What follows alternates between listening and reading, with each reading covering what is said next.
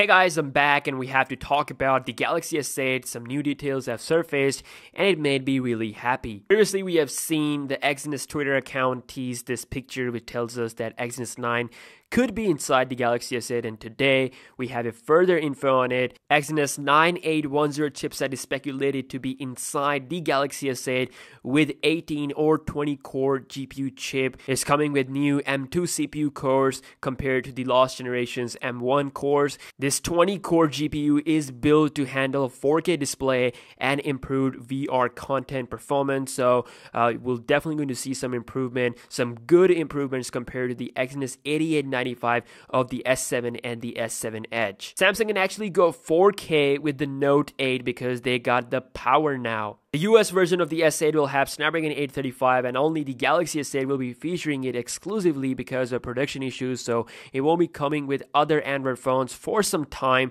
So it's safe to say that your beast Galaxy S8 may actually be the fastest Android phone of 2017. A Twitter leakster known for his Galaxy C5 Pro photo leaks brings new information about the S8. He says that all the Galaxy S8 Chinese variants, both the S8 and the S8 Plus, will feature 6 gigs of RAM with 64 slash 128 gigabyte of storage. Previously, it was said that only one Galaxy S8 version will get 6 gigs of RAM, but now all the variants that will be launched in China will have 6 gigs of RAM, which means that 6 gigs of RAM may actually be a default RAM amount for all the Galaxy S8 variants uh, for all around the world, which includes, you know, launching outside of China. Samsung believes that high RAM capacity is actually one of the prime selling points of their devices in China, and now they want to implement the same strategy uh, in the rest of the world as well. So this really gives us hope that every Galaxy S8 will have at least 6 gigs of RAM.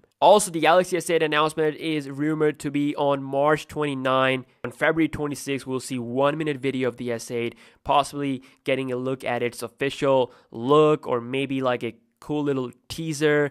And you know, Samsung is being really naughty. I just made a video about the secure folder thing that, that just came with the Galaxy S7. So it basically shows you a device picture in the tutorial mode that looks like the Galaxy S7. So Samsung really want to make people hype. They're hinting at people and they want you guys to be excited. So the release date for the Galaxy S8, at least in United States, will be will happen after like three weeks from the official announcement, which will be on March 29th so which is rumored to be on March 29, and it will take three weeks to get to US, which means that it will be around 15, 16 April. So yeah, that's it for this video. Hopefully there will be more stuff coming out for the Galaxy S8 pretty soon. So for all the content, make sure you subscribe, and I'll see you guys in my next one. Peace out.